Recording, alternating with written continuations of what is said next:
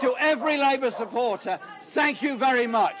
To every voter in Peterborough, thank you very much for taking part in the election. You have a wonderful MP in Lisa, somebody who knows and understands Peterborough, cares for Peterborough, and will deliver for the people of Peterborough. She has our total and full support. Lisa, congratulations and well.